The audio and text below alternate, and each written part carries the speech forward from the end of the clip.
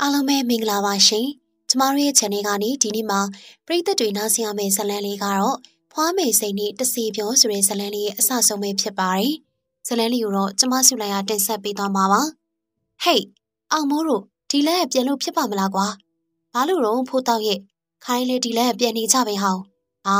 ခါတိုင်းလို့ဆိုရင်ငါကပြောပါမလားကွာ။အခုဟာဒီလက်မှာစိန်တိုးတည်ထားတာမကြသေးဘူးလေကွာ။သူများတွေပြောတာတော့စိန်တိုးကမကျွတ်သေးဘူးတဲ့ ခမဗျာသူများပြောတာကိုရှုံနေသေးတယ်ဒါပါ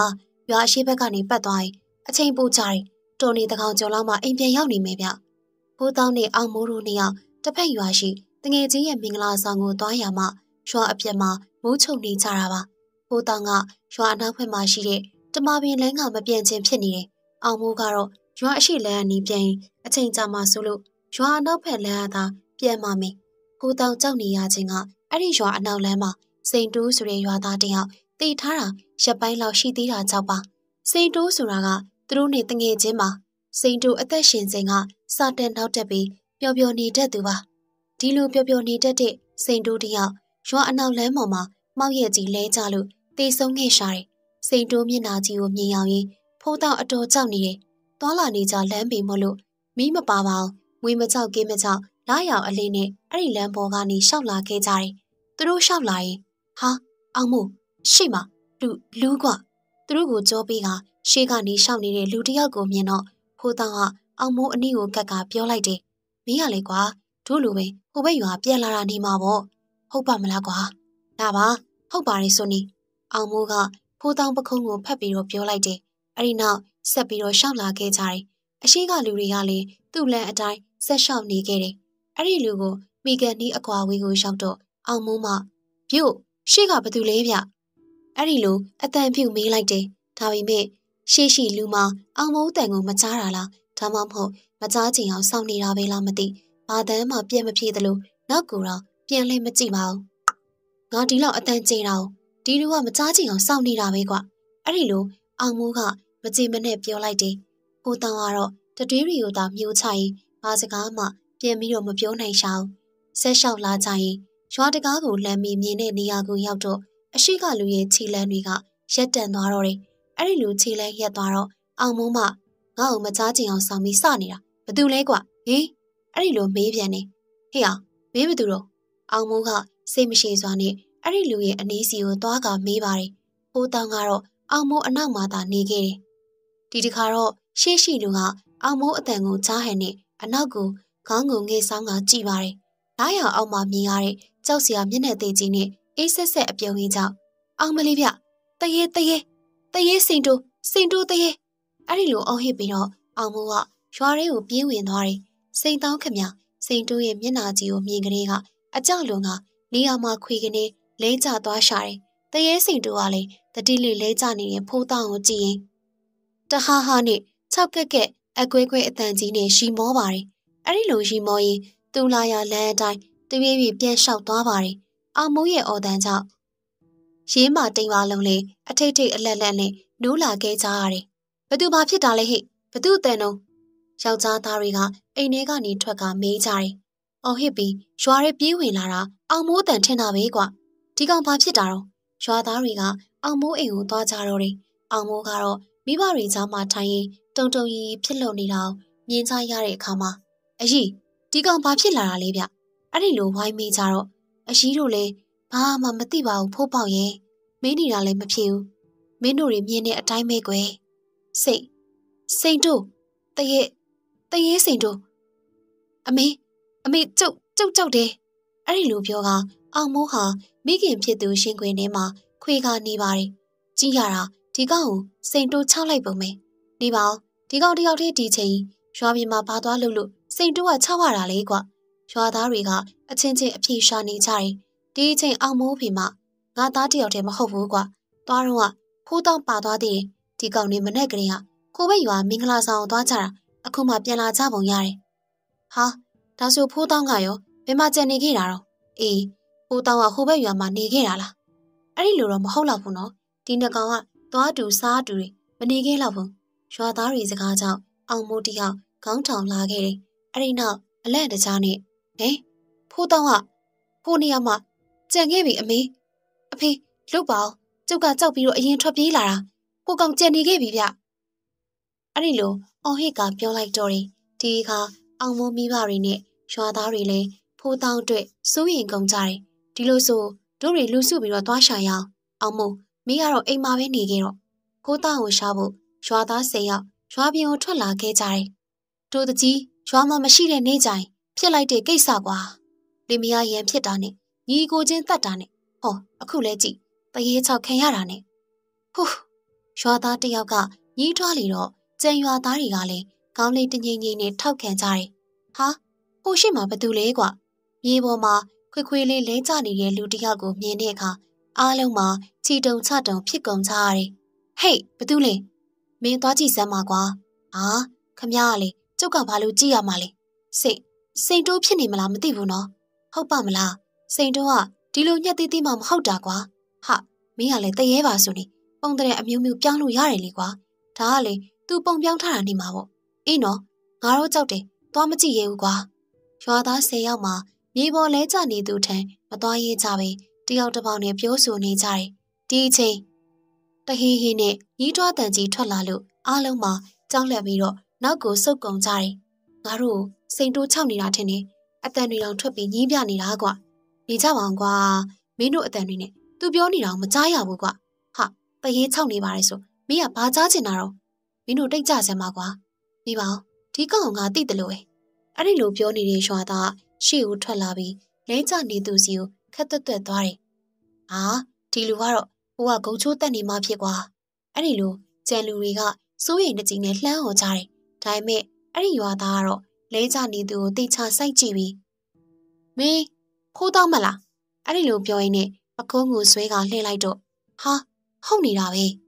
ဟိကောင်နေလာကြဘာတရေမှမဟုတ်ဘူးဒါဖိုးတောင်းကွ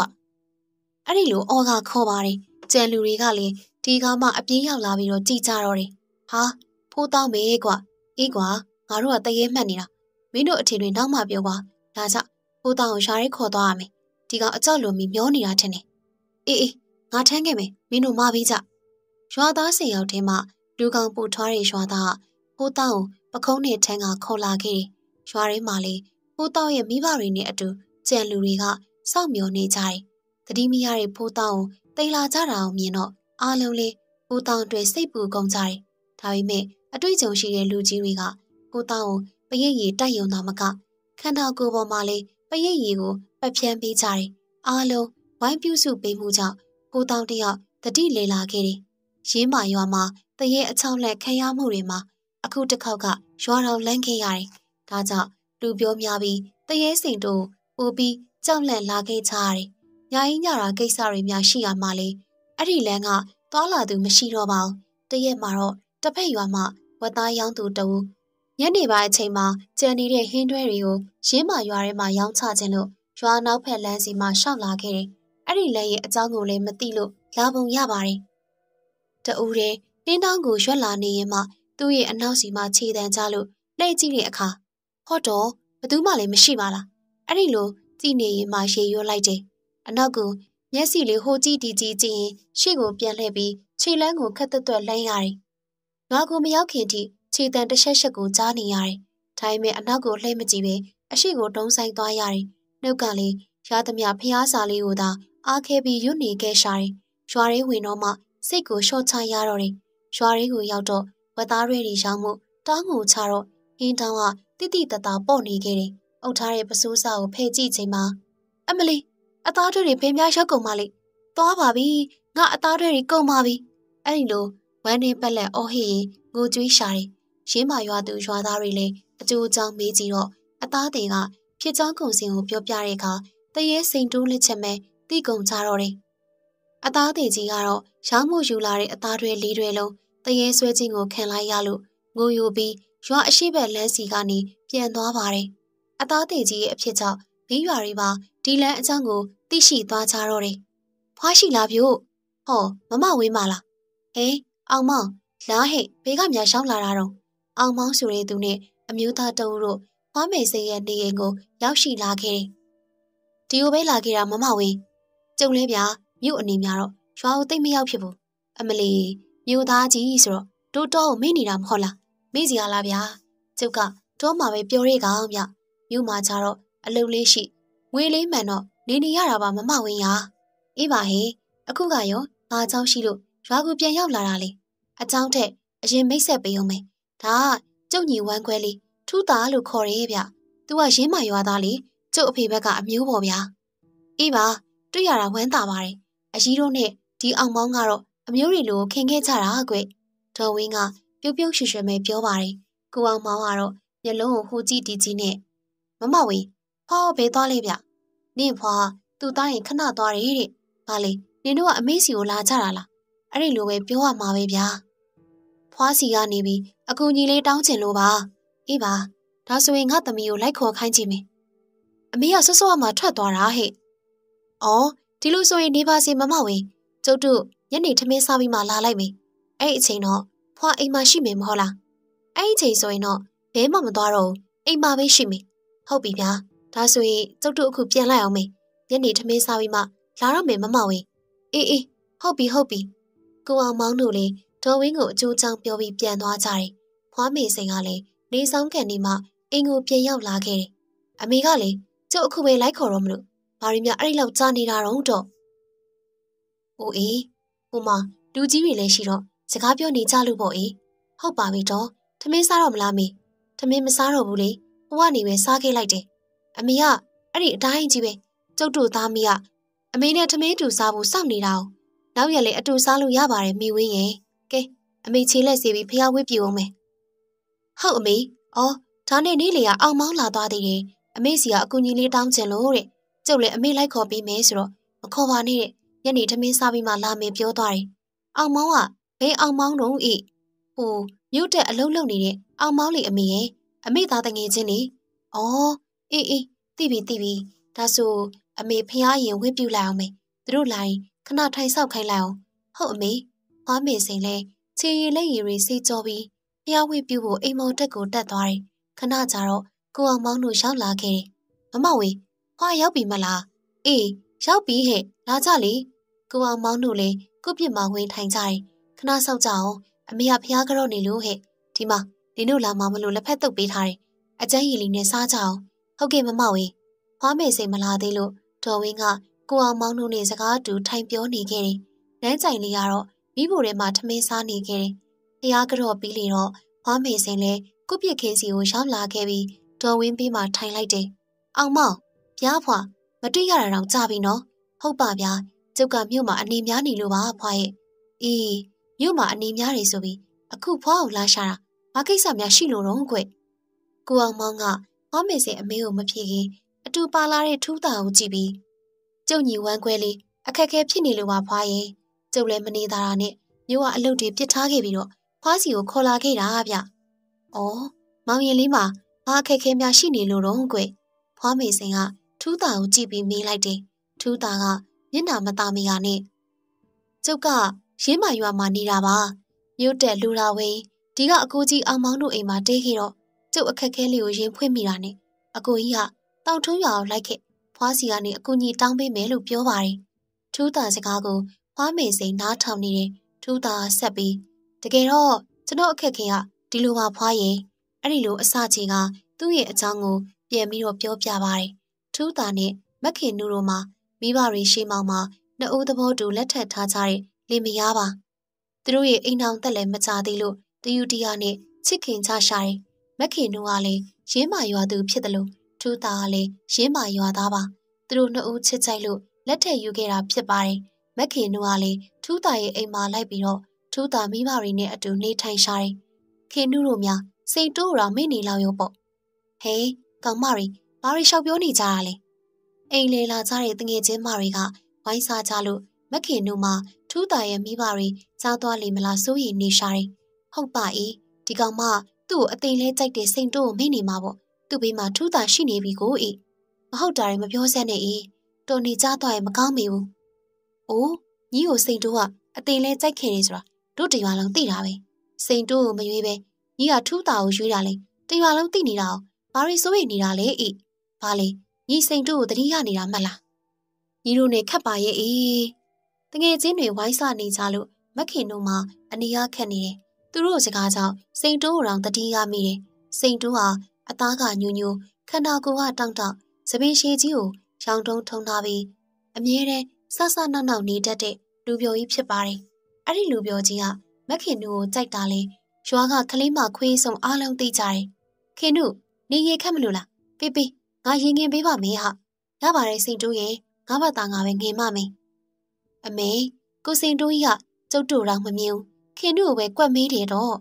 ။ဟဲ့ညီတို့အသားကြီးကမဲချိန်နေတာငါမြင်မလား။ညီတို့ကခင်နုလိုဖြူဖြူဖွေးဖွေးမှမဟုတ်တာ။အလို့တော့သူတနာယူပြီးခင်နုကိုပဲမြင်တာများတို့အသားကိုမဲနေတယ်။ကြားလို့မှကောင်းကြသေးရဲ့လားတော့။အောင်မေငါ့အောင်များတနာယူသလေးပါလေးနဲ့ညီတို့တော့နာတော့မေခင်နုရေကဲပါအောင်ဟဲ့တ နာယူကြီးတို့တွေကိုရန်လုံနေပြီရေရင်းမှာခင်နုရဲ့တငယ်ချင်းတွေကစိန်တိုးကိုဝိုင်းစားကြတယ်စိန်တိုးကိုဒေါသထွက်တဲ့အထိစားကြတော့စိန်တိုးကလည်းအသေးအတန်လိုက်ရိုက်တော့တယ်ခင်နုရဲ့တငယ်ချင်းတွေကလည်းစိန်တိုးလက်မှလူအောင်ပြေးလွှားနေကြတယ်ခင်နုအိမ်အပြင်ထွက်တာနဲ့စိန်တိုးကအနောက်ကအမြဲပါတတ်တယ်စိန်တိုးနေဟာငါနောက်ကဘာလို့အမြဲလိုက်နေရတာလဲခင်နုရဲ့မင်းမမေးတတ်ပါပြီတဲ့နင်သွားရအောင်ငါအမြဲလိုက်နေတာစမ်းသလားဟာ မစမ်းတာကိုသိပါတယ်စိန်တိုးရဲ့ငါလည်းနေ့ကိုအခါတရမကပြောပြီးပြီပဲငါနေ့ကိုတငယ်ချင်းတယောက်လိုပဲခင်တာပါဟဲ့ဒါပေမဲ့အဲ့ဒီထက်တော့ပုံမလာနိုင်ဘူးဆိုတာနင်လည်းသိရသားနဲ့အေးလေနေကလေဒီစကားတွေပဲပြောနေမှာတော့ငါဘက်ကလည်းပြောနေကြစကားပဲပြောရမှာပေါ့ဟာနေ့မှာချီးကားတဲ့သူမရှိခင်အထိတော့ငါအချစ်ကိုနင်မြင်ပေးပါခင်နုရဲ့နင်းနဲ့ဒီအတိုင်းလေးပဲဆက်နေပါရစီဟာခတ်လိုက်တာစိန်တိုးရဲ့ဟဲ မခင်တို့လည်းစိန်တိုးကိုပြောပြနေတော့လေစိန်တိုးကလက်မလျှော့လို့တက်ပြင်းသာချမိတယ်ဒီလိုနဲ့နေလာရင်မှမခင်တို့တယောက်တရားရေးသားဖြစ်တဲ့ထူးတာနဲ့ချစ်ကြိုက်မိတယ်မခင်တို့နဲ့ထူးတာရဲ့အကြောင်းကိုသိလေတော့စိန်တိုးတယောက်ရင်ခွဲပက်လက်ဖြစ်ရှာပါတယ်ဒါပေမဲ့ဘသူကမှလည်းရန်လှုပ်ခြင်းမလုပ်သလိုဘသူနဲ့မှလည်းမတွေ့တော့ပဲအရက်ကိုသာဖိတောက်ပါတယ်အကြောင်းသိသူတွေကလည်းစိန်တိုးကိုသာတနာနေကြရှာတယ်မခင်တို့နဲ့ထူးတာတို့ရဲ့မင်္ဂလာပွဲကျင်းပတဲ့ရက်မှာ စိန်တိုးတယောက်အရက်ပလင်းကိုဆွဲရွာအနောက်ဘက်ကိုထွက်သွားခဲ့တယ်။နောက်ဆုံးမှာရွာအနောက်လမ်းမှာစိန်တိုးရဲ့အလောင်းကိုသာအားလုံးတွေ့လိုက်ကြရတယ်။အများကတော့စိန်တိုးတယောက်ရင်ခွဲပြီးတည်တယ်လို့ဆိုကြပေမဲ့လေတချို့ကတော့အရက်ကြောက်တည်တယ်လို့ဆိုကြတယ်။ဘလို့ကြောက်ဖြစ်ဖြစ်မက်ခင်နူတို့မင်္ဂလာဆောင်နေ့မှာပဲစိန်တိုးတည်ခဲ့ပါတယ်။ဒီအကြောင်းတွေကိုပြန်တွေးပြီးတော့မက်ခင်နူမျက်ရည်ဝဲလာခဲ့တယ်။စိန်တိုးကိုလည်းတနာမိတယ်။ဒီကြားထဲရွာအနောက်ဘက်လည်းမှာ တရေစိန်တိုး၆လက်နေတဲ့ဆိုတဲ့သတင်းကြောင့်ပို့ပြီးတော့တနာမိတယ်။စိန်တိုးကလည်းဘုံကြီးပစ်ပရိတ်ရွအမြောက်ဝေတာကိုတော့မကြုံမလို့ဖြစ်နေခဲ့တယ်။မက်ခင်တို့ရဲ့အိမ်မက်ထဲကိုလည်းစိန်တိုးမကြာခဏလာတက်သေးတယ်။အိမ်မက်ထဲမှာမျက်နှာငယ်လေးနဲ့မက်ခင်တို့ကိုကြည့်နေတတ်တယ်။မက်လိုက်တိုင်းလည်းအဲ့လိုဖြစ်နေလေရာမက်ခင်တို့မှာစိန်တိုးအတွက်စိတ်မချမ်းသာပါဘူး။စိန်တိုးအတွက်ကုသိုလ်တွေလုပ်ပေးပါပေမဲ့လည်းစိန်တိုးဟာမကျွတ်လွတ်နိုင်သေးပါဘူး။တရက်မှာတော့မက်ခင်တို့က ကိုထူးတာဟေးကျုပ်ပြောစရာရှိလို့အေးပြောလေမိမရဲ့ထူးတာကမခင်နူပြောမိစကားကိုနားဆွနေတယ်ကျုပ်လေစိန်တိုးကိုဒီဘဝကနေကျွတ်လွတ်စေခြင်းနဲ့တော့ဟေးစိန်တိုးဟုတ်လားတော်လေးသိသားပဲစိန်တိုးကကျုပ်ပုံအတော်တန်ရောစင်တွေ့ရှာတာသူအခုလိုဘဝမျိုးရှောင်းနေရတာလေကျုပ်ကြောက်လို့ထင်ပါရဲ့ဘာဆိုင်လို့လဲမိမ့်မာယာဆိုင်နေလို့ကျုပ်ထင်နေကိုထူးတာရဲ့ကျုပ်ကိုဒါလေးတော့လိုက်ရောပေးပါတော့ မင်းကဘလို့ဖြစ်ချင်လို့လဲမိမရဲ့ငါကရောဘာလို့ပြီးရမှာတော့ဆရာကောင်းတမကောင်းရှားပြီးစိတ်တူးကိုကျွတ်လို့ဖို့ကူညီပေးချင်တာပါကိုထူးတာရဲ့ပြောတာပြောရတာပါကျုပ်ကိုတော်ညူညင်မှလေးစိုးပါရတော့ဒါလေးများမိမရစိတ်သားချမင်းဖြစ်စေချင်တယ်လို့ဖြစ်ရစေမယ်စိန်တိုးဆိုတာလေတခြားသူမှမဟုတ်တာကွာတင်ပါတဲ့အတူနေတဲ့သူတွေပဲဒီလောက်တော့ငါကူညီပေးနိုင်ပါရဲ့ကွာထူးတာရဲ့စကားကြောင့်မခင်တို့မျက်နှာကျဉ်နှက်မှုအပြည့်နဲ့ ပြုံးလို့နေပါတယ်ထူးတာစကားဆုံးတော့ဖွားမေစိန်ကကောင်းလေးတငိမ့်ငိမ့်နဲ့ဒီလိုဆိုရင်စိန်တိုးကိုကျွတ်လို့ဖို့ဖွားအကူကြီးလိုတာပေါ့လေဟုတ်ပါတယ်ဗျာကျုပ်လည်းမိမသဘောတိုင်းဆရာကောင်းရှာနေတာပါခက်တာအောင်လန်းဆရာနဲ့တိုးပြီးစိန်တိုးကိုခိုင်းစားမှလေးစိုးရိမ်မိတာနဲ့ကျုပ်မှဆရာကောင်းဘလို့ရှာမလဲဆိုပြီးအခက်တွေ့နေခဲ့တာပါအဲ့ဒီလိုနဲ့ကန်ကောင်းချင်တော့မြို့တက်လာတော့ကိုအောင်မောင်းနဲ့စုံချိန်ကျုပ်အခက်ခဲကိုပြောပြမိရာနီ သူကဖွားเจ้าနေကိုပြောပြလို့ကျုပ်လည်းဒီကိုလိုက်ဖို့ပေးပါလို့ပူစားပြီးပို့ခိုင်းရတာပါထူးတာစကားဆုံးတော့ဖွားမေစိန်ကခေါင်းကိုညှိပြီးကောင်းပြီလေမောင်ကြီးကကောင်းတဲ့ကိစ္စကိုလုပ်ဖို့ဖွားစီလာအကူကြီးတောင်းတာပဲဒီဖွားကြီးကကူညီရမှာပေါ့ကွယ်အဲ့ဒီလိုပြောလိုက်လေတော့ ဦးအောင်မောင်နဲ့ထူးတာတို့ကတယောက်နဲ့တယောက်ကြည့်ပြီးကျင်းနဲ့အပြုံးတွေနဲ့ပြုံးသွားကြတော့တယ်ခဏကြာတော့စိတ်တော့မရှိပါနဲ့ဖွာရဲ့ကျုပ်ဘက်ကသိချင်ုံနေမှာရင်းမရအောင် ဖွာဘယ်နည်းလောက်များလိုက်လာနိုင်မလဲဗျာအဲ့ဒီလိုမေးပါတယ်ဥကွေရက်မကြမနဲ့ပြန်မဲလိုက်ခဲ့ပေးပါမယ်မောင်ကြီးရဲ့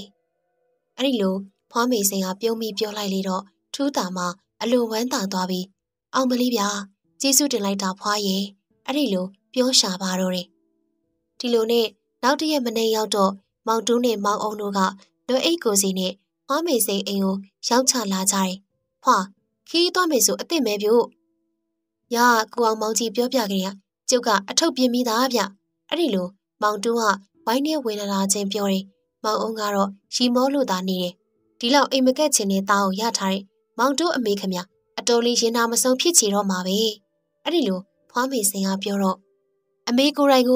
ကျုပ်ကိုမိထွန်းပေးထားတာဗျ။အမေကဆိုရင်ကျုပ်အိမ်မှာနေတာထက်ဖွားနောက်လိုက်တာကိုပိုးပြီးသဘောကျတယ်တဲ့ဗျ။အဲ့ဒီလိုမောင်တို့ကပြောတော့ဖွားမေစင်ကပြုံးမိတာနေပါတယ်။ ခဏကြာတော့ကိုအောင်မောင်နဲ့ထူးတာတို့လည်းရောက်လာကြတော့ခီးစားထွက်ကြတော့တယ်။ထုံးစံအတိုင်းမောင်တို့ကနွားလေးမောင်ပြီးဖွားမေစိန်နဲ့မောင်အောင်ကအသင်လိုက်လာကြသလိုကိုအောင်မောင်ကလည်းမြို့ကိုမပြန်သေးပဲထူးတာရဲ့လှဲနဲ့ရင်းမာရွာကိုလိုက်လာခဲ့ကြတယ်။ညတကောင်ကျော်အချိန်မှာပဝင်းကျင်မှာခွေးဟူတမ်းမပဘာတမ်းမှမကြရအောင်တိတ်ဆိတ်နေခဲ့တယ်။ဒီလိုတိတ်ဆိတ်နေတဲ့အချိန်မှာရွာနောက်ဘက်လမ်းအတိုင်းရှောက်လာတဲ့တဆက်ဆက်နဲ့ခြေတံတစုံ အဲ့ဒီခြေတံပိုင်ရှင်ဟာတောင်ဝေးတစ်ချောင်းကိုမြေပေါ်ထောက်ပြီးလူရစီကိုဆက်လျှောက်လာခဲ့တယ်။အဲ့ဒီသူကတခြားသူမဟုတ်ဖွားမေစိန်မင်းဖြစ်ပါတယ်။ဖွားမေစိန်ဟာရွာနောက်ဘက်လမ်းရှိတမပင်အောက်ကိုရောက်လာချိန်ခြေစုံကိုရက်တက်လိုက်ပြီးဒုက္ခနဲ့တောင်ဝေးကြီးကိုစောက်ချလိုက်တယ်။ဒီနေရာမှာနေတဲ့စိန်တိုးဆိုတဲ့ကောင်အခုချက်ချင်းကြားရအရှက်မအရောက်လာစီအဲ့ဒီလိုပြောလိုက်တယ်။ဖွားမေစိန်စကားဆုံးမိမကြပါဘူး။ဖွားမေစိန်နဲ့မလန်းတဲ့နေရာမှာ မတ်တရက်လျက်ပဲကိုထင်ပြပါတယ်။စိန်တိုးဟုတ်သလား။အဲ့ဒီလိုဖွားမေစိန်ကမေးတဲ့အခါခေါင်းကြီးကိုညှိပြတယ်။လူတွေဒုက္ခရောက်ဒီလန်းကိုမတုံးရအောင်ခြောက်လက်နေတာဘာသဘောလဲဟဲ့။အဲ့ဒီလိုမေးတော့ခေါင်းကြီးကိုငုတ်ပြီးဘာစကားမှမဖြေပါဘူး။ပါလေငါဘက်ကနင့်ကိုအပြစ်ပေးရမလား။နင်ကစိုးသွက်နဲ့တရေလားဟဲ့။အဲ့ဒီလိုလေးတန်းမမနဲ့ပြောလိုက်တဲ့အခါတရေစိန်တို့မှချက်ချင်းမြေပေါ်ကိုဒူးထောက်ပြီးတော့ မဟုတ်ရပါဘူးဗျာ။ကျုပ်တရေဆိုးမဟုတ်ပါဘူး။အေးငါဘာကောင်မှလည်းနင်သိသလား။ဒါမှမဟုတ်သိကျင်နေသလား။အမေကြီးကိုကျုပ်သိပါတယ်ဗျာ။အမေကြီးပညာလေးအတော်ထပ်ပုံရပါတယ်။ကျုပ်ကိုအပြစ်မပေးပါနဲ့အမေကြီးရဲ့။အဲ့ဒီလိုအတနာခံပါတယ်။အေးဒီလိုဆိုရင်ဘာလို့ဒီဘဝမကျွတ်လို့တင်ရလဲဆိုတာအရှင်ပြောခွက်ကျွတ်လို့ဖို့အတွက်အချိန်လိုအပ်သေးလို့လားမဟုတ်ပါဘူးဗျာကျုပ်စိတ်ကြောက်ပါဟဲ့နင်းစိတ်ကဘာဖြစ်ချင်တာတော့ ကျုပ်စိတ်ကခင်တို့အပေါ်ဆွဲလန်းနေတာပါအလိုလေးမြစ်တာဓာတ်တို့ကြီးမားပါပြီလေကွယ်ဒါပေမဲ့တခုတော့ယူရလိမ့်မယ်အဲ့ဒီမောင်ရင်ဆွဲလန်းနေတဲ့ခင်တို့ကိုယ်တိုင်ကမောင်ကြီးကိုဒီဘဝမြူရောက်နေတာမကြည့်ရဘူးဆိုပြီးဖွားကိုအကူကြီးတောင်းထားတယ်သူခမရလေးစိတ်မချမ်းသာရှာဘူးခင်တို့ကကျုပ်ကြောက်စိတ်မချမ်းသာနေရတာဆိုတော့ကျုပ်ဘာလုပ်ပေးရမလဲဗျာခင်နုကိုယ်တိုင်ကမောင်ကြီးအတွက်တပတ်ခါကျရင်အလူတဲလှုပ်ပေးလိုက်မယ်အဲ့ဒီနေ့ကျရင်လေ တာရုခေါ်ဖို့မောင်ကြီးကိုလာခေါ်ချလိုက်မယ်မောင်ရင်ဘက်ကသာတာရုခေါ်ပြီးခင်နုလည်းစိတ်ချမ်းသာပြီပေါ့ကွယ်အဲ့ဒီလိုဖွားမေစိန်ကပြောတော့တရေစိန်တို့ကတရှုပ်ရှုပ်ငိုနေတယ်ခေါင်းကြီးကိုလည်းတစ်ဆက်ဆက်ညှိရင်ကျုပ်တာရုခေါ်ပါမယ်ဗျာအဲ့ဒီလိုငိုတန်ကြီးနဲ့ပြောရှာတယ်ကောင်းပြီဒီလိုဆိုရင်ခင်တို့လည်းစိတ်ချမ်းသာပြီပေါ့ကွယ်အဲ့ဒီလိုပြောပြီးဖွားမေစိန်ကတရေစိန်တို့ကြောခိုင်းပြီးတော့ရွာရေးပြန်ဝင်လာတယ်ထူးတာတို့အိမ်မှာ မောင်တူးတို့ကိုလည်းထားခဲ့တာမလို့အားလုံးကလည်းလေတဆန်းဆန်းနဲ့မျှော်နေကြတယ်ဖွားမေစိန်ပြန်ရောက်လာမှအကျိုးအကြောင်းပြောပြတော့ဝမ်းသာကုန်ကြတယ်တရေစိန်တို့ကျွတ်လွတ်စေဖို့အလူလေးလှူမယ်ဆိုပြန်တော့လေတိမ်ပါလုံးကဝိုင်းဝန်းကူညီကြပြန်နေတာရုခေါ်လာပြီးဖို့လေထူးတာရဲ့မောင်တူးတို့နှစ်ယောက်ရင်ကတရေစင်တူနေတဲ့တမပင်စီသွားပြီးတော့ခေါ်ကြပြန်နေဒီလိုနဲ့တရေစင်တူရီစုလှူဒန်းပေးပြီးအမြအတန်ပေးဝေကြတယ်အလှပြီးတော့ အားလုံးပါရှင်တမမနဲ့တရေစင်တူချွတ်လွတ်ပါစေလို့ဆုတောင်းကြတယ်အဲ့ဒီညမှာပဲမခင်တို့ရဲ့အိမ်မက်အတွင်းကိုစိန်တူရောက်လာပြန်နေရှကင်ကလိုမျက်နှာထားမဟုတ်ပဲနဲ့ပြုံးရွှင်ကနေပြီး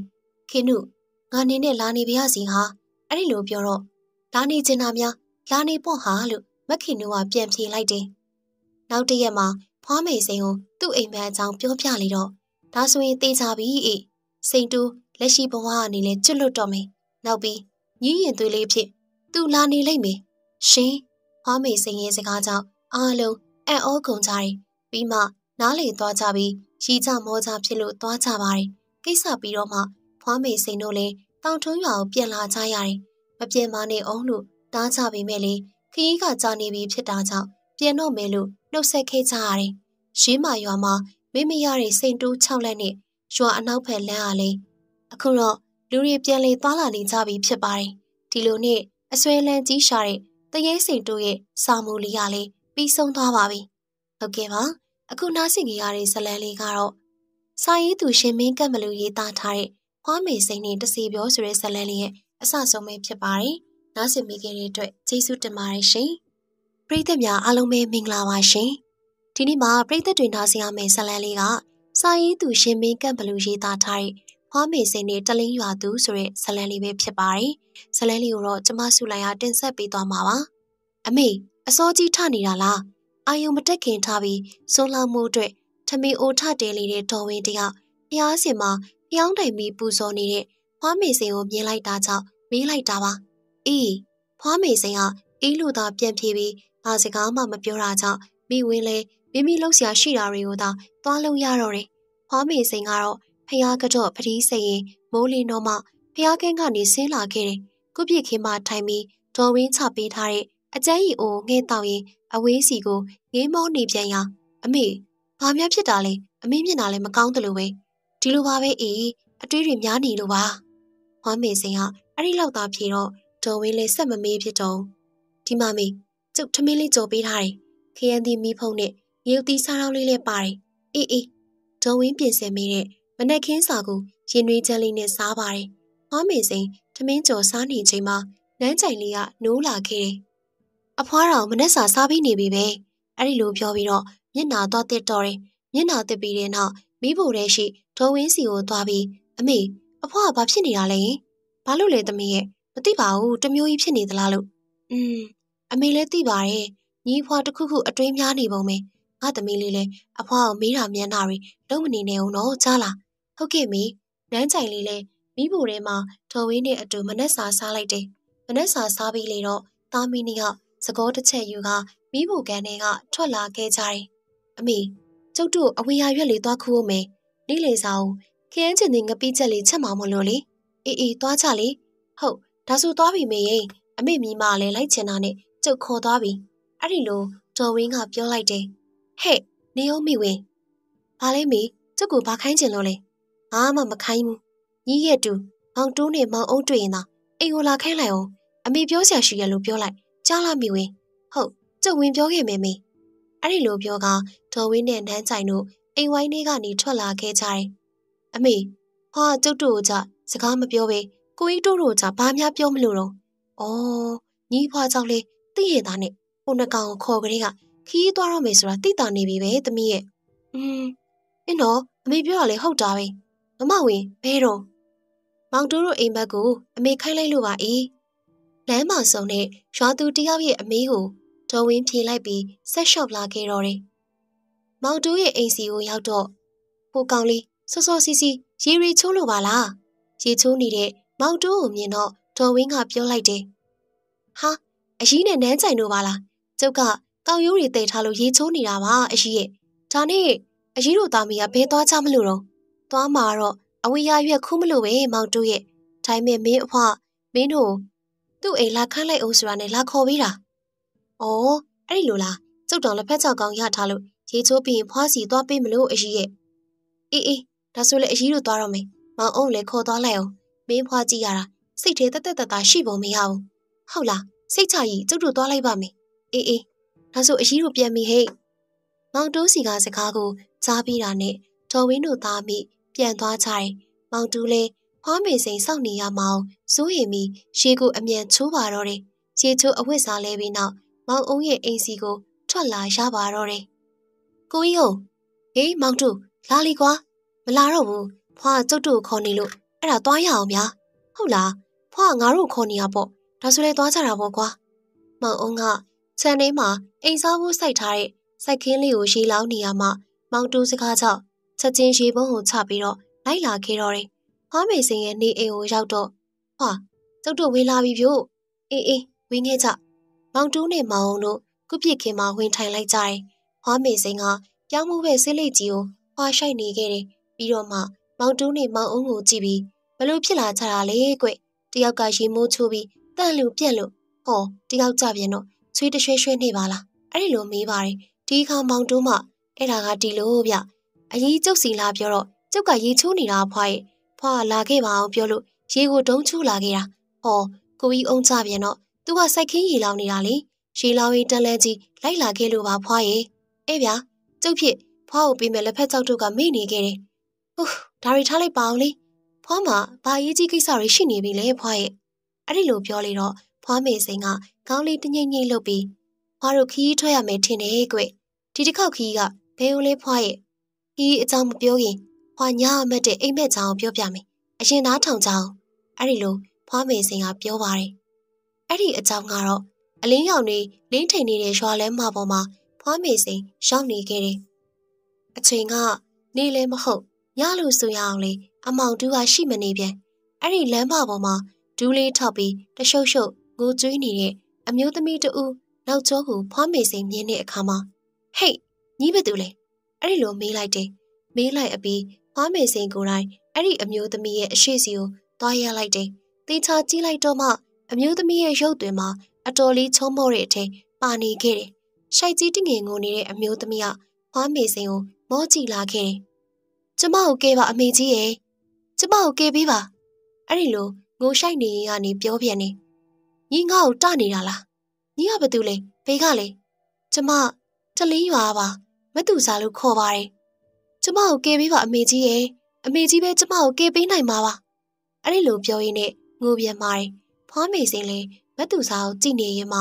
အမြင်တွေတဖြည်းဖြည်းဝါလာပြီးအိမ်မက်ကနေနိုးလာခဲ့ရတယ်။အိမ်မက်နိုးနိုးချင်းပဲအိမ်ရာတွေဆက်မလဲနိုင်တော့ပဲအိမ်ရာကထထိုင်ပြီးမတ်သူစားရဲ့မျက်နှာကိုမြင်ရောက်ရင်းနဲ့စိတ်မသက်မသားဖြစ်နေပြီးတော့တယ်။အဲ့ဒီအမျိုးသမီးကတရေလားဗျ။ဖွားမေစင်ပြောပြတဲ့ အိမ်မက်အကြောင်းကိုနားထောင်အပြီးမှမောင်တူကမေးလိုက်တယ်။ဖွားမေစင်ကခေါင်းကိုရက်ပြီးမဟုတ်ဘူးမောင်ရင်ဒီကလေးမတရေမဟုတ်ဘူးကွဒါဆိုဥစ္စာဆောင်များလားဖွာမောင်အုံးကမေးပြန်တော့ဖွာမေစိန်ကကောင်းရက်လို့မဟုတ်ဘူးကွဒီကလေးမမွေးရပါအစွမ်းတစ်ခုခုရှိပုံရတယ်ဖွာမြင်ပြောရမယ်ဆိုရင်ဒီကလေးမတာမယ်လူလည်းမဟုတ်ဘူးနောက်ပြီးမောင်ရင်တို့ပြောသလိုလည်းမဟုတ်ပြန်ဘူးကဲပါဖွာရဲ့အဲ့ဒီတော့ ဖွာဘယ်လိုများလုပ်ချင်လို့လဲ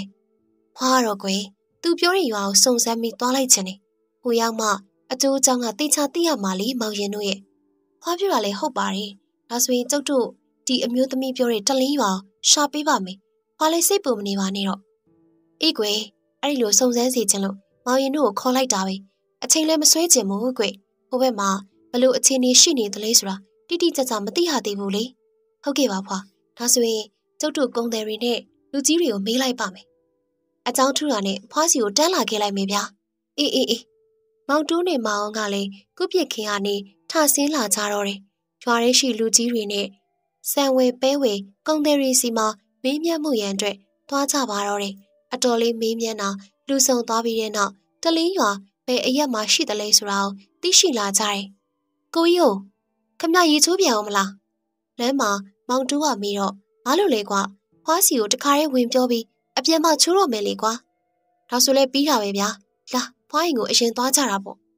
။အားမေစိန်အိမ်ကိုမောင်တိုးတို့ရောက်လာတော့ဒေါ်ဝင်းကမိဖို့ရင်းမှာနေလေစာချက်နေပြီးနန်းကြိုင်လေးကမလကာပင်တွေကိုရှီလောင်းပေးနေခဲ့တယ်။ချဲရှိဘက်စပယ်ပင်အောင်မှာစပယ်ပန်းတွေခူးနေတဲ့ဖွားမေစိန်မှာမောင်တိုးတို့ကိုမြင်တဲ့အခါမှာဘလူတော့ကွသိခဲ့ကြပြီလား။သိခဲ့ပြီဖွားရဲ့တလင်းရွာဆိုတာမြို့အနောက်ဘက်ပိုင်းမှာရှိတာတဲ့။ အဲ့ဘက်ရောက်ရင်မေးမြန်းပြီးဆက်သွားရမှာတဲ့ဗျ။အော်ဒါဆိုမြို့ကိုအရင်တက်ကြရမှာပေါ့ဟုတ်ပါဗျာ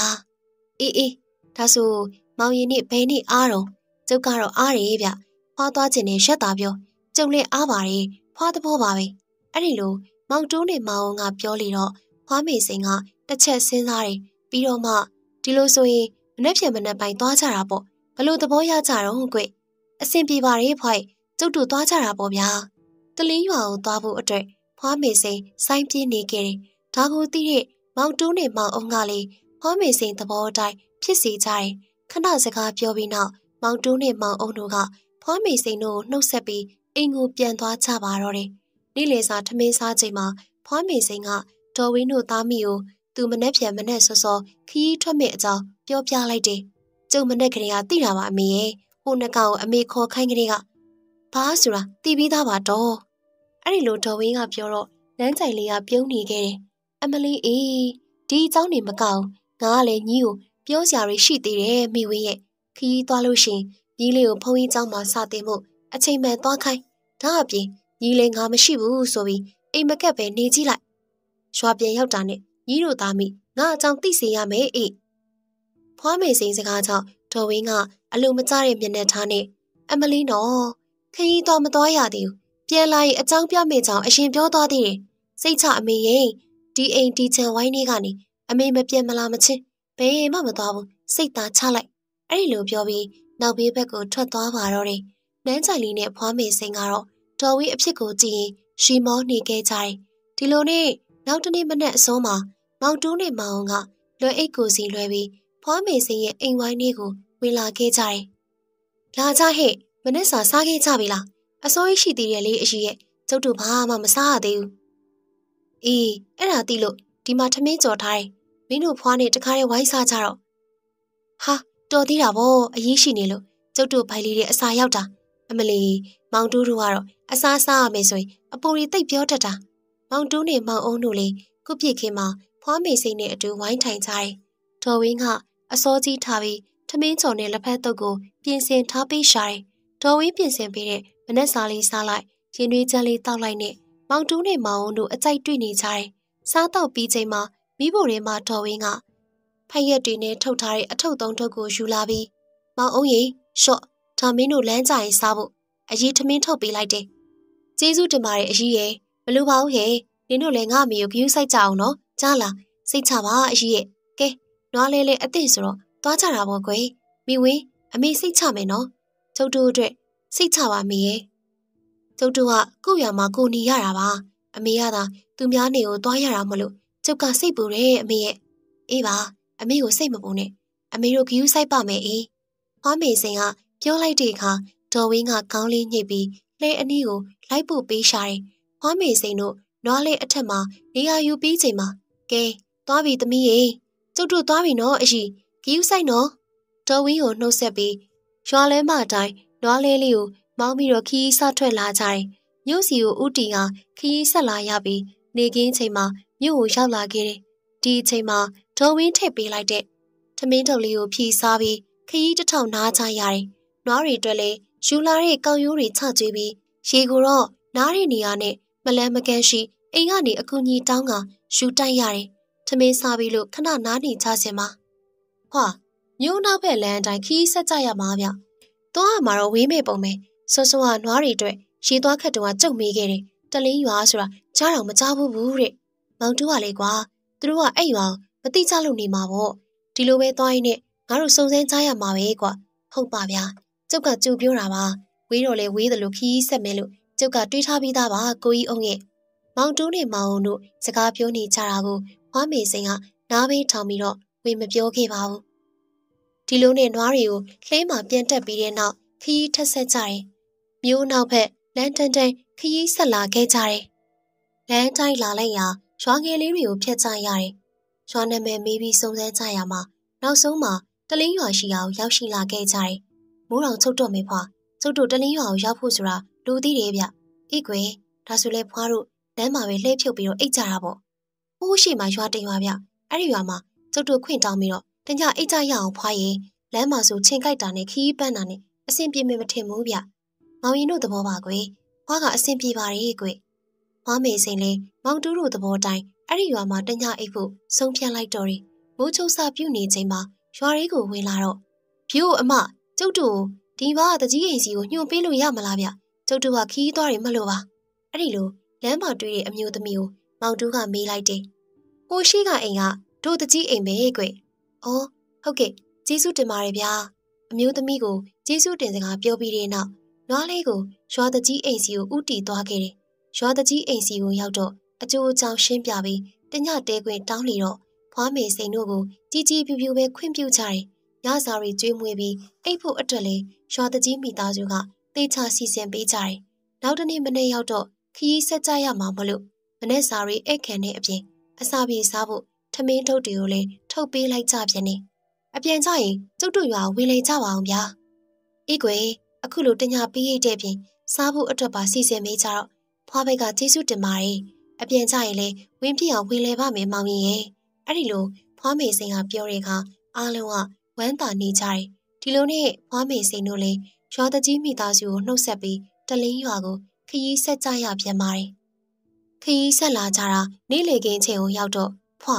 ရှေ့ကရွာတလင်းရွာဆိုတာပဲဗျ။မောင်တူပြောလေတော့ဖွားမေစိန်ခက်လန်းလန်းကမြင်နေရတဲ့ရွာစီကိုလမ်းကြည့်လိုက်ပြီးတော့နောက်ဆုံးတော့ရောက်လာပြီပေါ့ကွယ်။အဲ့ဒီလိုပြောပါတယ်။ဖွားမေစိန်တို့လွာလေးလေးရွာရဲဝင်လာချိန်မှာလူစိမ်းတွေပြီးမို့တလင်းရွာသူရွာသားတွေကလှမ်းကြည့်နေခဲ့ကြတယ်။ရိုးနောက်ကြည့်ကျုပ်တို့တခုလောက်ကူညီပါလားဗျ။ဟေးငါဘာကူညီရမှာတော့ကွာ။မင်းတို့ကဘသူတွေတော့တို့ရွာလည်းမဟုတ်ပါလား။ကျုပ်တို့ကခရီးသွားတွေပါဗျာ။ ကျုပ်တို့ဒီရွာတကြီးအိမ်ကိုလမ်းညွန်ပေးဖို့နောင်ကြီးကိုအကူအညီတောင်းချင်တာပါဗျ။အော်ဒီလိုလားငါနောက်ကသာလိုက်ခဲ့ကြကွာ။တကြီးအိမ်ကိုငါကိုယ်တိုင်လိုက်ပို့ပေးပါမယ်ကွာ။ဒီလိုဆိုကျေးဇူးပဲနောင်ကြီးဟာဒါနဲ့နောင်ကြီးနာမည်ကဘလို့ခေါ်တော့ဗျ။ငါနာမည်ကဖိုးတုတ်ကွာမင်းတို့ကရောဘလို့ခေါ်တော့ကျုပ်ကမောင်တူသူကမောင်အောင်ဗျပြီးတော့ဒါကျုပ်တို့ဖွာဖွားမေစိန်လို့ခေါ်တယ်အေးကွာ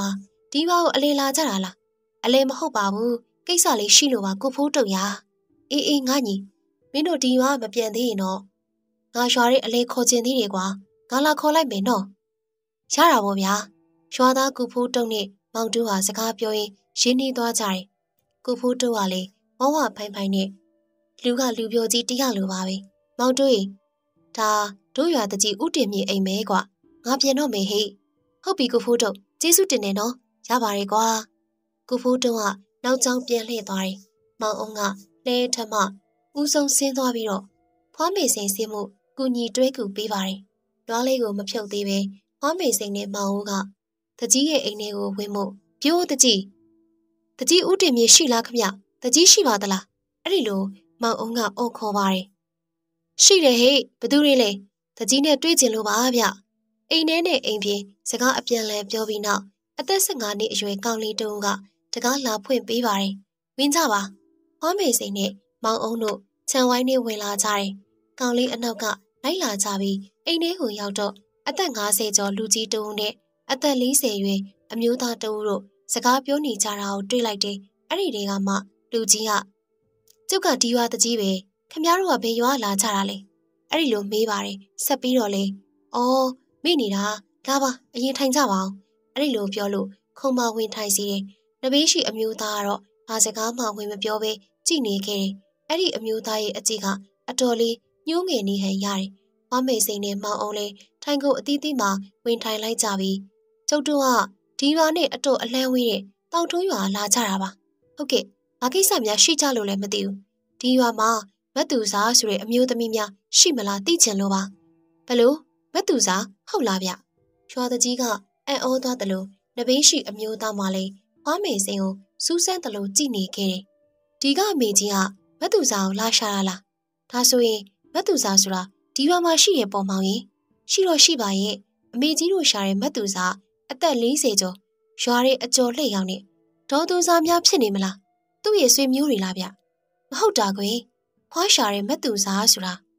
အသက်ကရှိလား20ကျော်30နီးနီးပါရုပ်လေးကလည်းချိုးပါပြီတဲ့ကွဗျာဟမ် ဖွားမေစင်စကားကြောင့်အံ့အားသင့်တဲ့တန်တွေထွက်လာခဲ့တယ်နေပါဦးမေကြီးရဲ့အဲ့ဒီမတ်သူစားအမေကြီးနဲ့ဘလို့များတော်ဆက်တာလဲ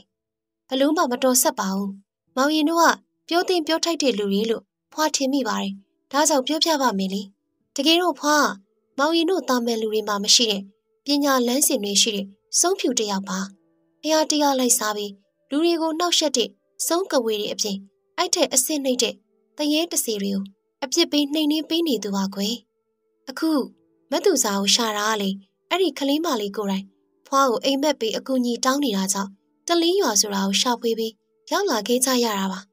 အလိုလေးအမေကြီးရဲ့တလာဝေးတဲ့ခီးကိုအိမ်မက်ပေးလို့ရောက်လာခဲ့ရတာပေါ့အမေကြီးရဲ့တည်ကြီးတဲ့ရုပ်သွင်းနဲ့အမေကြီးရဲ့ပြောကြားချက်တွေကိုကျုပ်ယုံကြည်ပါတယ်ဒါပေမဲ့အမေကြီးရှာနေတဲ့မတ်သူစာဆိုတာကလေဟောရီမောင်မောင်မြရဲ့ညီမပါပဲလက်ရှိတော့ မတ်သူစာကိုအမေကြီးတွေ့ရမယ်မထင်ဘူးဗျာရွာတကြီးရဲ့စကားကြောင့်မတ်သူစာရဲ့အကိုဖွားမေစိန်ကြီးလိုက်တယ်မောင်မောင်မြရုပ်သွင်းကမရွှေမလန်းဖြစ်နေတာကိုမြင်ရတဲ့အခါမှာဖွားတို့ကလည်းခရီးဝေးကလာကြရတာပါမတ်သူစာလေးဘလို့အခက်ခဲကြုံနေသလဲဆိုတာကိုပြောပြပေးရင်ဖြစ်ဖွားတို့ပင်ပန်းတာလေးနည်းနည်းဖြစ်ဖြစ်တက်တာတာပေါ်မောင်ရင်တို့ရဲ့မဟုတ်ရင်ဖြစ်လာရလမ်းမေပြန်ရမလို့လို့နဲ့ဖြစ်ကုန်ပါလိမ့်မယ်ဖွားမေစင်ရဲ့စကားကြောင့်မောင်မောင်များက အဲ့ဒီလိုတော့အဖြစ်မခံနိုင်ပါဘူးဗျာကျုံနှမလေးအတွက်ကျုံမှာခေါင်းခဲနေရတာပါတရွာလုံးနဲ့တယောက်အာမတန်လို့မန်လျှော့နေရသူပါဗျာအလိုလေးဘလို့ဖြစ်လို့တော့မောင်ရင်လေးရဲ့မောင်မောင်များကရင်ထဲမချိနေတဲ့နဲ့ပြောတဲ့အခါမှာဖွားမေစင်ကဆက်မေးလိုက်တယ်ကျုပ်ပြောပြပါမယ်ဗျာကျုံညမလေးကမွေးလာကလေးကသူ့မျက်လုံးလေးအတော်လှတာဗျကျုံနေဆိုအသက်က၈နှစ်လောက်กว่าပါတယ်ညီမလေး9နှစ်အရွယ်မှာမိဘတွေပြောတာကြားမိတာတော့ ညီမလေးမှာဝမ်းတွင်းပညာဆိုလာပါလာတယ်တဲ့သူနဲ့ဆော့ဘော်တွေကသူ့ကိုရိုက်တာပြူတာများရှင်အဲ့ဒီကလေးကိုမျက်လုံးနဲ့တစ်ချက်စိုက်ကြည့်တာနဲ့နောက်ရဲ့အသေးအတန်ဖျားနာတော့တာပါပဲညီမလေးအကြောင်းသိတော့မိဘတွေကဒါကိုဖုံးဖိပြီးညီမလေးကိုအမျိုးမျိုးနားချကြပါတယ်နောက်ဆုံးဘာကြီးဖုန်းကြီးကိုအပ်ပြီးဆုံးမသွန်သင်ခိုင်းတော့ကလေးကအရွယ်ရောက်တဲ့အထိဒီပညာတွေတက်တယ်ဆိုတာတရွာလုံးမသိကြပါဘူး။ဒါပေမဲ့ခက်တာညီမလေးမှာ အချားမြင်ရတယ်ဆိုပြီးလူတွေကပြောလာကြရဲ့ဗျ။အဲ့ဒါကလေသူ့တငယ်ချင်းတယောက်တစ်ပင်ကပြုတ်ကြမယ်နော်။တစ်ပင်မော်ရီမတက်နေဆိုပြီးအတိပင်းဟာကဟိုကသူ့စကားနားမထောင်မိပဲတစ်ပင်တက်တော့တစ်ပင်မော်ကပြုတ်ကြပြီးလက်ကျိုးသွားပါရဲ့။အဲ့ဒီကစပြီးကိစ္စကြီးငယ်မှန်သမျှညီမလေးကိုမေးလာကြတာပါ။ညီမလေးကလေတော်တယ်မေးသမျှမဖြစ်ဘူးဗျ။မောင်မောင်မြပြောပြတဲ့မတ်သူစာရဲ့ဘဝအစိတ်ပိုင်းတစ်ခုကိုသိရှိခဲ့ကြတယ်။ဒီလိုဆိုရင် အခုမတ်သူစာကြုံနေရတဲ့ပြဿနာဘာများလဲကွ။အဲ့ဒါကလည်းဒီလိုပါ။ကျုပ်တို့ရွာမှာပြီးခဲ့တဲ့လပိုင်းကစပြီးကလေးတွေဝမ်းလျှော့ရာနေကုမီယာပြုတ်မီယာနဲ့တေကြတာဆိုရင်၁၀ရောက်လောက်ရှိပါတယ်။စေးစီယာနဲ့ကုဖို့အချိန်မမီလို့တေတဲ့ကလေးတွေပေါ်အမေကြီးရဲ့။ကျုံညီမလေးကအဲ့ဒီလိုတွေမဖြစ်ခင်ကကလေးတွေတေးလိုက်မယ်။တတိထားကြပါဆိုပြီးပြောမိတယ်ဗျ။ဒါကိုဒီကလေးတွေတေးတာကျုံညီမလေးကအောက်လန်းနဲ့ပြူစားလို့အခုလိုတွေဖြစ်ပါတယ်ဆိုပြီး တေဆုံးသူကလေးတွေရဲ့မိဘတွေကအညိုးထားကြတယ်။ညီမလေးကိုကျွန်တော်တို့တားနေတဲ့ကြားရိုက်ကြပုတ်ကြနဲ့အခုဆိုညီမလေးကိုအခန်းထဲမှာပဲပိတ်ထားရပါတယ်ဗျာ။အဲ့ဒီလိုမှမလုပ်ရင်ကျုပ်တို့မိဘတွေကိုပါတတ်မယ်ဆိုပြီးကျင်းဝါနေကြလို့အများနဲ့တူမနေသားတဲ့အစုံညီမလေးကိုအခန်းပိတ်ထားရပါတယ်။အလိုလေးဖြစ်မှဖြစ်ရပါပြီတဲ့။ဒါဆိုရင်ဒီကလေးမလေးကအခန်းထဲမှာပိတ်ထားခံရတာပေါ့ဘယ်နေရက်များရှိပြီလဲကွယ်အခုဆိုရင် တပတ်လောက်ရှိပါပြီကျုံတဲ့မိဘတွေကလည်းညီမလေးအတွက်စိုးရိမ်ပြီးတကြီးစီမှာအခါခါလာပြီးအပူကက်နေရတာပါမောင်မောင်မြစကားကြောင့်ရွာတကြီးကခေါင်းကိုညှစ်ပြီးကျုံလဲဘာမှမတက်နိုင်လို့ပါအမေကြီးရဲ့အဲ့ဒီကောင်ကြီးကရွာလူမိုက်တွေရေးဗျကျုပ်တိုင်းကျုပ်ကပါတက်ချမှာဆိုတော့ဘာဆက်လုပ်ရမယ်ကိုမသိပါဘူးဗျာอืมမောင်ရင်တို့ပြောသမျှနားထောင်ကြည့်ပြီးတော့သူစားရဲ့အဖြစ်ကိုဖွာတိတင်တဲ့လောက်သိပြီကဲ အဲ့ဒီတော့တကြီးရေကျုပ်တို့နွားလေးလေးဒီမှာထားခဲ့ခြင်းနေမောင်ကြီးကတော့မောင်ရင်နှမရှိတဲ့နေရာကိုလိုက်ပို့ပေးဖို့ကွယ်ဟုတ်ဟုတ်ကဲ့ပါမေအမေကြီးကကျုံညမလေးကိုကဲပြီးမေမလားရင်အဲ့ဒါတွေနောက်မှပြောလာသွားကြအောင်စို့နွားလေးကိုဒီတိုင်းထားခဲ့ပါကျုပ်လဲချွတ်ပြီးနွားတွေအစာကျွေးထားလိုက်ပါမယ်အေးကွယ်ကြီးစုပါပဲဟွားမေစိန်တို့အိမ်အပြင်စီကိုရောက်တော့မောင်အောင်ကလဲမာထားတဲ့ငှက်ကြီးတောင်ထားကိုယူလိုက်တယ်ဟဲ့မောင်အောင် ထားခဲ့ဘာမှမယူခဲ့နဲ့လူသာလိုက်ခဲ့ကြဟုတ်ဟုတ်ကဲ့ဖွာမောင်အောင်ကဓားကိုပြန်ချထားခဲ့ရတယ်မောင်မောင်မြခွန်ရအတိုင်းခြေချင်းလိုက်လာကြရင်ဘာမှမသိသေးတဲ့မောင်တူးကိုလည်းမောင်အောင်ကလမ်းပြပေးရှာတယ်တလင်းရွာတွေကလူတွေကလည်းတောင်ဝေးကြီးထောက်ချီလွယ်အိတ်ကြီးလွယ်ထားတဲ့ဖွားမေစိန်ကိုအထူးဆန်းတပွဲကြည့်ကြတယ်ဒါအပြင်မောင်မောင်မြနဲ့တွဲတွဲလိုက်လို့သူလောသူလောစကားတွေပြောကုန်ကြတော့တယ် မလဲမကန်းကလည်းတူတူတိတ်တိတ်လိုက်လာကြပြန်နေမောင်မောင်မြရဲ့နေအိမ်ကိုရောက်တော့ရွာပြင်ဘက်မှာသုံးယောက်ထိုင်နေတာကိုမြင်ရတယ်ဒီလူတွေရုပ်သွင်းကလက်ရဲစေရင်နဲ့မိုက်ကန်းကန်းပုံစံတွေပါအဲ့ဒီလူသုံးယောက်ကဖွားမေစင်ကိုလှမ်းကြည့်ပြီးဟေ့ကောင်မောင်မောင်မြမင်းကမင်းနှမလို့ဟာဘေးကအဖွားကြီးကိုတက်ကူခေါ်လာတာလေကွဟုတ်မှလေလုံတော့တော်နေသိနေစိတ်ကောင်းမယ်အဲ့ဒီလိုပြောတဲ့အခါမောင်တူးနဲ့မောင်အောင်ကဒေါသတွေတဖွာဖွာထွင် အဲ့ဒီလိုသုံးယောက်ကိုဒေါသတကြီးစိုက်ကြည့်နေကြတယ်။ဟိုနှကောင်ကရောဘေးကခေါ်လာတာလေကွရုပ်တွေကငါတို့များမခန့်လေးစားနဲ့စိုက်ကြည့်ရရမင်းတို့ကဘေးကကောင်းနေလေကွအဲ့ဒီလိုမေးပြန်တဲ့အခါမောင်တူးကဖြေမဲလို့စင်ဖွားမေစင်ကဒီမေခွေဖွားတို့ကဒီကိုခဏလာတဲ့ဧည့်သည်တွေပါမောင်ရင်တို့ကိုလေဘာမှရှဲမပြုတ်ပါဘူးကွယ်ဒါကြောင့်အေးအေးလူလူလာပြီးအေးအေးလူလူလေးပြန်မရစီအမေအဖွားကြီးကတိတ်တိတတ်တာပဲကဲပါ သွားကြပါကိုကောင်မမောင်မြဗျာကိုသိမ့်မင်းနှမကိုတော့လွတ်ဖို့မစင်းစားနဲ့နော်လွတ်တာနဲ့ငါတို့ကချမ်းသာပြီးမယ်မထင်နဲ့ဟုတ်ကဲ့ပါကျုပ်သိပါတယ်အမေလာပါအိမ်ထဲမှာအမေတို့ရှိပါတယ်အဲ့ဒီလိုမောင်မောင်မြကပြောပြီးအိမ်ထဲကိုခေါ်သွားပါတယ်မောင်မောင်မြတို့မှလေအဲ့ဒီလူတွေကိုအတော်ကြောက်ကြပုံပါအမေအဖေဟေးဧည့်သည်တွေပါလာတာလားငါသားရဟုတ်တယ်အဖေအမေထိုင်ကြပါအောင်အေးအေးအေးထိုင်ကြပါအောင်ရှင် အကျန်းရည်လေးတော့ဖြည့်လိုက်အောင်မေမောင်မောင်မြရဲ့မိကအကျန်းရည်အိုကိုယူပြီးထွက်သွားတယ်။တာသူတို့ကဘသူတွေလဲအဖေသားပြောပြမေမောင်မောင်မြကဖခင်ဖြစ်သူရဲ့နားနီးကိုတိုးကက်ကရှင်းပြတယ်။မောင်မောင်မြပြောတာအောင်နားထောင်ရင်ဖခင်ဖြစ်သူမျက်နာကဝမ်းသာရိတ်တွေနဲ့တကယ်လားငါသားအဲ့ဒီလိုမိတော့ကျုပ်ပြောတာအမှန်ပဲပြီအေးအေးအေးဒီလိုဆိုရင်အဖေဖြစ်ဝမ်းသာလိုက်တာငါသားရဖွားမေစိန်တို့ကိုအာကိုတကြီးကြည့်ပြီးတော့ပြောလိုက်တယ်မောင်မောင်မြမိက အကျန်းရီအိုးနဲ့အတူလက်ဖက်အုပ်လေးကိုချပေးပါတယ်ဖွားမေစိန်ကကလေးမလေးရှိတဲ့စီကိုလိုက်ပို့ပေးပါမောင်ရင်အဲ့ဒီလိုပြောတဲ့အခါဗျာအခုလားမေဖြစ်ဖြစ်ပါမလားဟိုလူတွေရှိနေသေးတယ်လေရတယ်ကွဟောအခုသာလိုက်ပို့ပေးညီမလေးကအပေါ်တဲ့အခန်းထဲမှာပါကျုပ်လိုက်ပို့ပေးပါမယ်ဒါပေမဲ့အခန်းရှိမှာ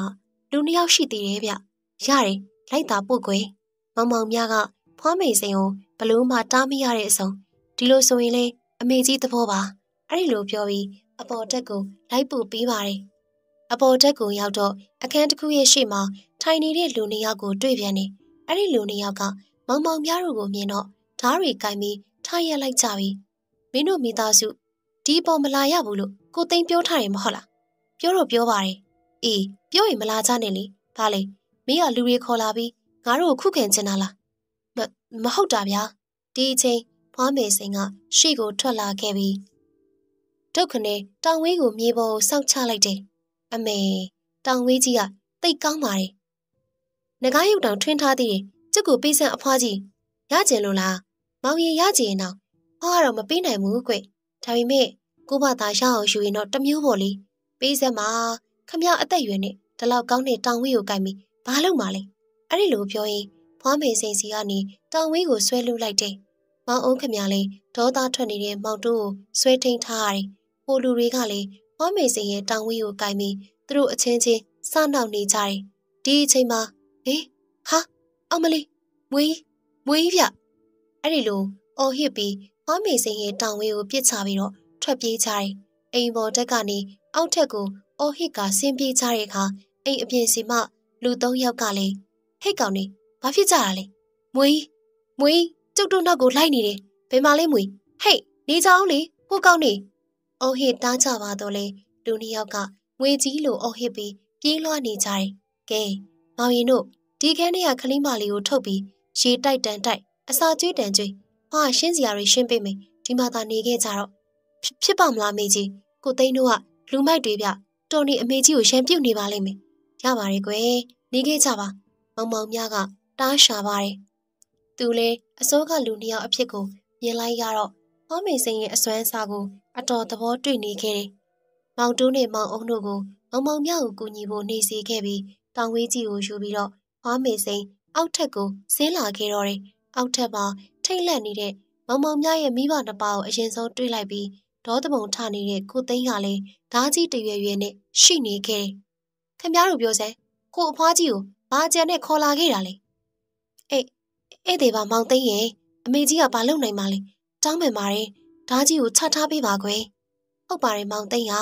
ငါတို့မင်းကိုမလွန်ဆန်ရတာမင်းလည်းသိရတာနဲ့ကွာတော်စမ်းပါဩ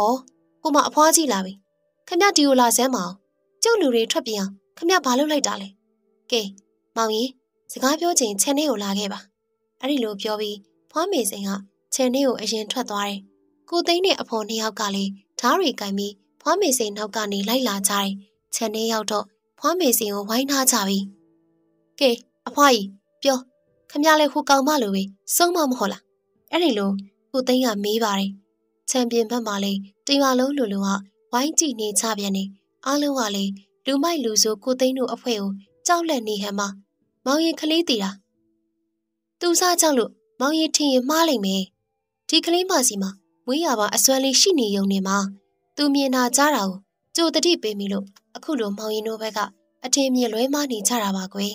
တော်စမ်းပါဗျာဒီကောင်မကိုလည်းမရှုံးသလိုခမရောလည်းကြုံမယုံစုံမတွေကလူတွေကိုအမျိုးမျိုးဒုက္ခပေးကြတာဘယ်တုန်းကမှကောင်းကျိုးပြုတယ်မရှိဘူးอืมဒီလောက်ပြောနေတာတော့နားမလည်မှတော့မောင်ရင်တို့စိတ်ကတရိษံတာတာပဲဖြစ်နေပါရောလားဘာဗျ